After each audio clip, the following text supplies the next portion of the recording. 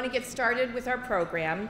Um, as I mentioned, we are delighted to welcome Gary Kelly back to the Wings Club for his ninth December with us. Uh, and each time he comes, both his and Southwest's list of accomplishments continue to grow. Gary is in his 30th year at Southwest. He serves as chairman of the board, president, and CEO. Southwest, as you probably know, is one of the most honored airlines in the world, known for their triple bottom line approach, which places equal value on people, the planet, and profit as they conduct their business. The success of this approach is clearly demonstrated in Southwest results. Southwest has grown to become the nation's largest airline in terms of originating domestic passengers, and their performance has been remarkable, delivering 43 years of consecutive profitability. I don't think any other airline or many other businesses could say that.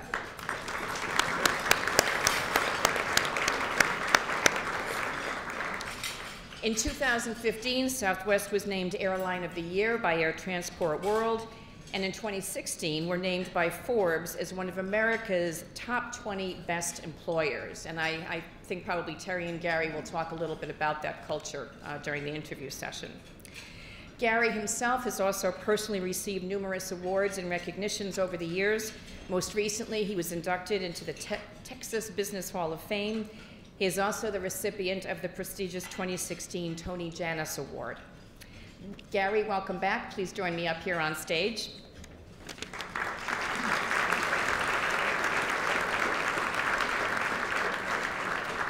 And for today's interview session, we're very pleased to have Terry Maxon with us. Terry worked for 42 years as a daily reporter at the Dallas Morning News report before retiring last year. Uh, he spent 30 years at the Dallas Morning News, including more than 20 covering aviation and airlines. Terry has covered all aspects of aviation news, including mergers, bankruptcies, although not at Southwest, strikes, lawsuits, airport battles, and more recently, air airline profitability. Over the decades, he has seen it all. Interestingly, Terry began his career writing obituaries, uh, we are hoping for something more uplifting today. Uh, hopefully, Gary will help us in that regard. Terry, please join us on stage. It's a pleasure to uh, uh, have you as my captive for, uh, for about a half hour uh, again. The, let's start with what we call the slow pitch of the cross middle plate. What's the state of the airline right now? How do you see Southwest now compared to, say, some of uh, the rougher stretches that, and the not too distant past uh, as you had various pressures? It, it, you know, you have to force yourself sometimes to live in the moment, and the moment is just uh, supreme. It's uh, really good times for Southwest, and I think it's especially gratifying because our folks have been working uh, through a very tough patch, especially since 9/11, uh, to get to this point. And um, it's not just uh, the high tide floats all boats. Uh, you know, they've, they've done a lot to transform Southwest. It's been um, hard going at times, but um, our operation is outstanding. Uh, our people have been very well taken care of. I think they feel uh, very engaged at Southwest, very proud to be a part of Southwest. Customers love Southwest Airlines. Our net promoter scores are at record levels. And so the brand um, uh, is also very, very strong. And then the profits, you know, boosted by very low fuel prices in relative terms, uh, profits are at record levels. So um, we had our November traffic released yesterday. We had a record load factor for the month of November. And um, that um, typically, except for Thanksgiving, was a relatively um, you know off-season time for, for the airline business, and now it's it's close to 90% load factors, you know, compared to the old days. So it's a remarkable time, and a lot of work is underway investing in the future, and I think we're all feeling really good about that. And uh, it's uh, it's a great day to be here with you because I know that you'll find that little sore point somewhere. Well, okay, let's talk about labor then. uh, five years ago this week, in fact, you, uh, uh, had a hotline for your employees in which you warned them uh, of very grave consequences for Southwest on the issue of cost. You had had most of your major carrier uh, competitors uh, uh, had filed for bankruptcy, had restructured their cost in bankruptcy. At that time, American Airlines had been in bankruptcy for about a week, and you presumed what was going to happen in, bankruptcy.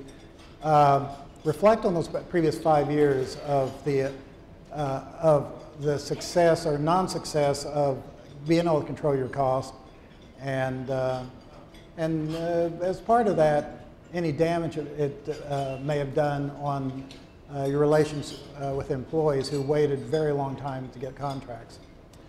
Well, you know the the, the nature of the communication at that time, uh, and I'm gonna have to change my number so you can't get access to that, you know, like Yeah. that. But, uh, uh, but the nature of the communication was uh, to really level set with our employees that uh, there's nothing to be euphoric about a large competitor going bankrupt. It's not like uh, there's a victory here for us. And in fact, they're going to be able to, as Herb would always say, wash away all their sins uh, through the uh, washateria of bankruptcy. And that's exactly what's happened. Uh, every single major airline that existed when you and I started working in this business is either gone or gone bankrupt, except for Southwest Airlines, uh, going back to the 1980s. So uh, they're far more formidable competitors today, and their costs have come down while ours have continued to rise, and so our cost advantage has narrowed. It is exactly what I was uh, concerned about that's happened. Um, you know, we, we ask our, our people to uh, work very hard at Southwest, and there's a, a, this notion that we have called working the Southwest way. We ask them to work safely, we ask them to wow the customer, and we ask them to keep costs low. And we know that if we can offer great service at the lowest price, we'll win. And so that's just undeniable. Um, and there's a long history, of course, of uh, airlines failing that did not keep their costs under control. So I think we just need to continue to work with our people and um, work together to eliminate waste and inefficiency from the airline. And every company has these opportunities because at the same time, um, I can tell you from a historical perspective and also tell you that it's our desire that we don't want to get our low cost by paying our people poorly, and we never have. So our people are very, very well paid. We've never had a furlough, never had a pay cut, certainly never gone through bankruptcy. And um, they've been very well taken care of, and that's the thing I'm the most proud of, quite frankly. So it's a, it's a team effort. Um, it's a communications challenge, but uh, through thick and thin, we've uh, managed to stay together and, and uh, work like a family. So I'm very proud of our, very proud of our people and the way we work together. Uh, follow up that you, your mechanics, uh, you still have an open contract with them, but you did get pilots and flight attendants, and I believe ramp workers uh, before that. The uh, uh, to, to, to restate the question, uh, do you do you sense that there has been damage done to that relationship because of the length of the bill and the pressures that you had to the cost pressures you had to hold them up against? Well, relationships are fragile and relationships have to be nurtured and they have their ups and downs. So it's not helpful to a relationship to have a lot of uh, negative rhetoric uh, and hurtful things said and things uh, drug out over a long period of time. Clearly that's not helpful. But I think the vast majority of people don't want to live that way. Uh, they want to believe in each other. They want to believe that the company cares about them and then we just have to go about the daily business of proving it to them. And it, um, it's just kind of like the presidential election. You see how the spirits of the country, just having that uncertainty resolved, whether you're for Trump or against him, uh, there's just a different attitude right now. And so getting the contracts done and behind us, um, and Mike Van de Ven and I in particular, we interact with a lot of employees, a lot of uh, union contract employees, and we feel very warmly welcomed, and I think uh, vice versa. And Mike and I meet with um, employees every single week, and large numbers of them. So it's nice to have those things done. Uh, but, uh, and Randy Babbitt, who maybe, Randy, if you're, you're here today, hello, but uh, Randy, I'll attribute this to him, and he may have told it to you. You know, you don't want to confuse union negotiations with the way we relate to our employees because they really are two different things. We have to work hard not to let them converge. But the union's job is to go out there and to uh, get the very best contract they can for the employees they represent. Uh, and they'll use a lot of uh, tactics to do that. The company's not going to behave that way. And no matter what, I love our people. No matter what. And, uh, and I think they know that. Uh, when you came to Southwest in 1986, Correct. and when I started covering Southwest in 1990, there's no question that Southwest was a low-cost carrier. Can you still call Southwest a low-cost carrier today? Yes, although we're not as comparatively low cost as we were in 1990, uh, Terry, I, I, would certainly concede that. And I do think that um, you know, Southwest is an unparalleled success. Uh, not because of me, uh, I'm just glad to have been a, a part of it uh, over the years, but unparalleled success, and it was inevitable that there would be airlines who would try to mimic that success um, not just in the United States, but around the world. And so that competition has come to life. Uh, competition is vigorous, and uh, it's got to incent us to get better. So what's a challenge for us as a 45-year-old company is to do this entire array of things very well. So we have very high ex expectations for us. Uh, and we're just going to have to now take it to the next level to find opportunities to drive our costs down because we do have uh, airline competitors whose costs are lower than ours, primarily because they pay substantially lower wages than we do. So that is not something that we desire to do. Uh, and it's also not practical to think that we'll go cut wages by 40%. Uh, that's not going to happen. But uh, we'll, we'll want to uh, take that challenge head on and continue to aspire to offer the best service at the lowest price. And if there's any airline out there that could realistically aspire to that, I think it's uh, the people of Southwest Airlines. You mentioned President-elect Trump. As best you can look into the future, uh, do you have, what, what effect do you think he might have on the airline industry? When I think about uh, Southwest and the industry, actually I'm excited uh, because uh, two of his major uh, themes, and without a lot of details, but with two of the major themes are tax reform and infrastructure investment. And we would welcome both. Um, tax reform, corporate tax reform, reforming the cost burden, uh, the ticket, the, the, the, tax burden, if you will, uh, for transportation, the regulatory burden. There's a long array of things that fit well with our Airlines for America agenda that we've been promoting for years. That is a plus. Um, and it does feel like, for the first time in a long time, with a Republican White House, Senate, and House, we have a realistic opportunity to get something done. In addition to that, uh, to make a grand bargain, if you will, um, along uh, uh, bipartisan lines, is the desire to invest in infrastructure. Um, without challenging all of us to conclude the wisdom of pursuing all of these things, air traffic control modernization is a no-brainer. It's beyond shovel ready. We're digging. It's just we're digging backwards. So we need to um, we need to align on how we get air traffic control modernized. And the uh, Trade Association, I think, has the best idea, which is to reform the FAA as to governance uh, and as to uh, uh, funding. So um, I, mean, I, I, think that there's a realistic opportunity for both of those that um, 30 days ago I didn't think was there. Uh, in particular, do you think uh, the privatization of the uh, ATC system will go forward?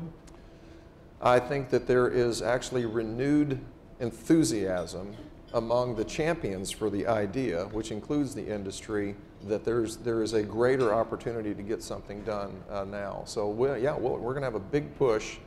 Privatize isn't the, the, the best word. We want to create a not-for-profit corporation that is governed differently, take it out of the hands of Congress so that you don't suffer all the funding starts and stops, sequestration, furloughs, and all of those other issues, and put the, the men and women who are air traffic controllers uh, in a position where they have modern tools and, and real support uh, from a funding perspective and leadership perspective to get something done. They do a very fine job. It is amazing how well they perform their jobs with the uh, antiquated 1950s technologies that they have. They're understaffed. It takes a long time in, in uh, an environment like uh, New York City and the complexity of air traffic uh, uh, space here. It takes a long time for an air traffic controller to be qualified um, to, uh, to work in this environment. And um, we need to change that. We need to make this a better opportunity for people to work. So it's not a matter of trying to reduce air traffic controllers. It actually is quite the opposite. I think we have a, a great opportunity to improve the efficiency of the system and the capacity of the system. Uh, in the regulation of airlines and airports, uh, what are the top three things on your list that, that you want to see changed? whether it's a regulation or a, a limitation or, or however you'd like to define that. Do you have a list, your wish list? Well, first of all, you know, we've been talking about air, ATC modernization, which again, the means to that, uh, as we see it, is uh, FAA reform. So that's, that's clearly number one. Number two, there, there's been an alarming uh, move um, in recent years to re-regulate the airlines. And, um, uh, and I'm surprised at that. The performance of the industry has improved dramatically. On-time performance, baggage handling, the number of complaints, et cetera. There's a lot of noise about the airlines that uh, choose to charge uh, bag fees, which is everybody but Southwest Airlines, by the way. and uh, we enjoy that, but it ought to be the uh, decision of a company as to how they decide to package their, their goods and, and uh, services. So um, uh, we, we don't, we're concerned about the nanny state. So right now there's been an effort or a threat uh, that you would be very familiar with to force airlines to list their product uh, on um, uh, an online website other than uh, ours. And um, so I think that there's an opportunity to avoid that kind of thing. The tarmac delay rule is another one I think uh, that could be vastly improved upon as to how it is implemented. No one wants for customers to be trapped on airplanes on tarmacs for an extended period of time. Uh, but uh, there's a, I think, a much better way to uh, approach that. So there's a variety of things that we would love to work with the new administration on, and uh, uh, we're supportive of Mr. Trump's choice for DOT secretary, and I think there's opportunities to make some improvements there. Okay. Um, you have entered a number of markets uh, in recent years, mostly international markets.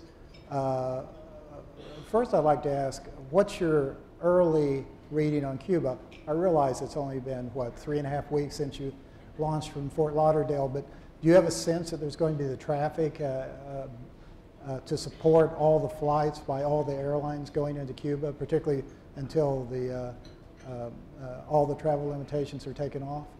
Yeah, I think so. You know, we, we've tried to um, be uh, honest in our assessment of the near-term um, results. Um, all of this, uh, you know, the opportunity to, to fly to Cuba was not in our 2016 plan at this time last year. Um, uh, th this all became um, a reality in February, and uh, many of our uh, commercial leaders are here who responded very quickly to a short deadline to be able to put in an application uh, for slots to serve Cuba. My point of that being that um, since it is within a year where we already had capacity constraints with our plan, this is a fairly modest change for us. So these are short flights from Florida. It makes sense for us in our route system. We were able to crowbar that in. Uh, so the overall risk to uh, Southwest, if these flights don't perform well, is very, very, it's de minimis, uh, quite frankly. However, uh, we're excited about the opportunity to get started. We're talking about half a dozen daily round trips, and um, there's no history. There's no way to forecast on whether that's the right number of flights or not. Um, but we've made a living out of doing this going into markets uh, with a belief that if we serve the markets well, at low prices, we'll be able to stimulate uh, enough traffic to fill up our airplanes. So uh, with what we're seeing so far, I don't see any reason to believe that that won't be the case here in Cuba. Uh, but yeah, in fairness, it's been three weeks with no, with no way to gauge what we should expect. So my expectations right now are very low. But I would tell our people and the Cuban people that we're making a commitment to serve this, and we're going to give it the old college try and uh, do our best to make it work, which means that we're not going to be coming back in March cutting flights. We're just not going to do that. Uh, Andrew Watterson may have, uh, our, our senior VP over network planning, may do seasonal adjustments, but in terms of making a commitment to the market, uh, that's what we do, and uh, I'm excited about it. So we'll, uh, we'll see. The holidays look really good, you know, with those markets. So I think we'll have plenty of people who want to fly. It would help if we could lift some of the restrictions on travel. Sure you all know, but you can't travel for tourism. And I have asked Andrew, then why are we going to two beach resorts if people can't travel for tourism? and he just laughs like you all do. So. Because that's what was available, right? The- Well, uh, uh, speaking of which, I, uh, no discussion between you and me is complete without me asking you about Hawaii. And since I'm asking about Hawaii, I'll ask you, ask you about Canada. You've always said they're uh, on your horizon, but you uh, never said how far away. So how far away are Hawaii and Canada uh, for the Southwest uh, route system? It's, they're not in our 2017 plans, and uh, we're on a, it's a journey. We've done a lot uh, in a short period of time. If you sort of take a six-year time horizon, uh, 2014 in particular, you know, the Wright Amendment repeal uh, go into effect, and we had to put a lot of capacity in to grow our flight activity there. We integrated AirTran uh, that year. Um, we're growing our capacity as kind of a follow-on to a big year last year, about five to six percent. We acquired slots uh, here and at Washington Reagan uh, with the American merger. Uh, so we've been real busy. Built a terminal uh, for international service in Houston after international service was launched in 2014. So you know, I'll take a breath here, but the point is, we've had we've we, we've had priorities, and Hawaii and Canada were outside of those priorities. Um, now we are launching a reservation system, opening up a, a terminal uh, for international in Fort Lauderdale next year. We've got the MAX coming online in uh, fourth quarter next, or third quarter next year, and uh, the, uh, retire, the retirement of the classics also in the third quarter. So we'll be really busy in 2017. I think both uh, Hawaii and uh, Canada will, will need to be thoughts 2018 and thereafter. But it's something that is high on our list. Um, there are um, technology needs for each of those entities for Southwest, uh, and some of the planning for us will be a, a matter of how we factor in that technology work. Um, but in, in, thinking about, you know, for a company, um, co companies should desire to grow. They grow earnings, but also grow earnings by growing revenues and grow revenues uh, by not just having uh, price increases. You know, so we'd like to grow our volumes, grow our customers, and the luxury for us, never had this in our history, as you've covered us, as we have such a vast array of opportunities to expand, it far exceeds the airplanes that we have. So uh, Hawaii and uh, Canada will just need to fight their way onto our, our priority list. The, uh, speaking of airplanes, you're a 737 exclusively, Right. and when you needed a bigger airplane, you got a bigger 737. Right. Um, have you have you started planning for uh, the day when Southwest will need something other than a 737? No. Sorry, Barry.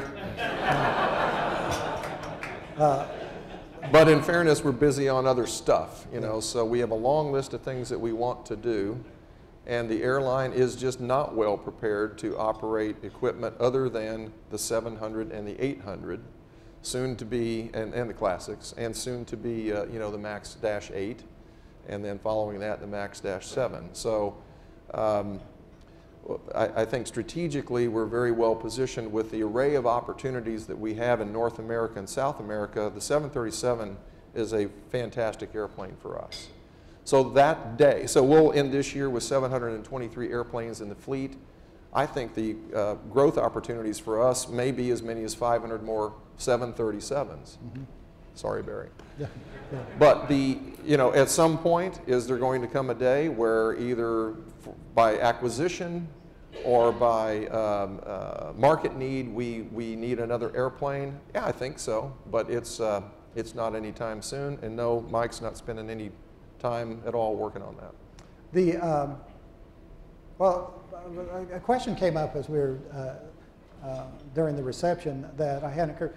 Why can't you get above a triple B plus? Why, why won't the rating agencies, uh, you've got a great balance sheet. It's probably a better balance sheet back when you had an A rating. What's, uh, why, why have you hit a ceiling?